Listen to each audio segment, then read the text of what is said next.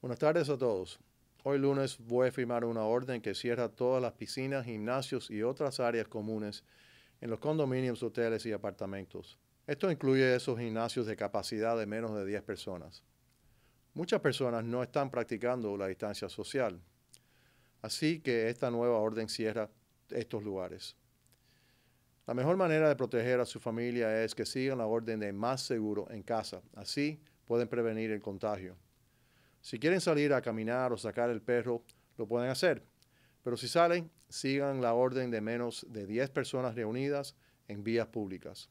Y mantengan la distancia de 6 pies entre personas si están caminando afuera o si van al mercado. Y, hablando del mercado, no tienen que ir con un carro lleno de gente. Dos personas por familia suficiente para ir de compras. No queremos los lugares llenos, ah, por eso la policía de Miami-Dade está patrullando las tiendas y locales públicos. Los departamentos de policía en las ciudades también deben de patrullar los negocios en las ciudades. Mi orden aplica a todos el condado. Les recuerdo que los parques y campos de golf siguen cerrados. Hemos visto mucha gente reunida en campos de golf como si fuera un parque. Esto está prohibido. Hoy los cuatro condados del sur de la Florida, Miami-Dade, Broward, Palm Beach y Monroe presentamos un mensaje unido, más seguros en casa.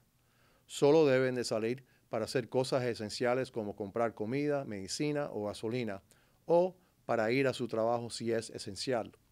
Hoy los líderes de los cuatro condados nos reunimos con el gobernador Ron DeSantis. Le damos las gracias al gobernador por adoptar la orden de más seguro en casa ahora para todo el sureste de la Florida. El gobernador también firmó una orden que le permite a los bomberos y policías recién retirados volver a trabajar para ayudar durante esta crisis.